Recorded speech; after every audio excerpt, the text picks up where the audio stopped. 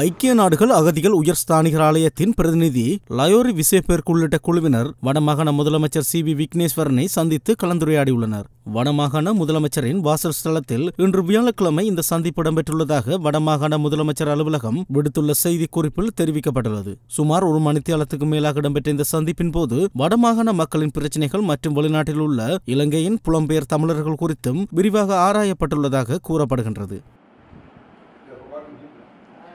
That's okay. the PTA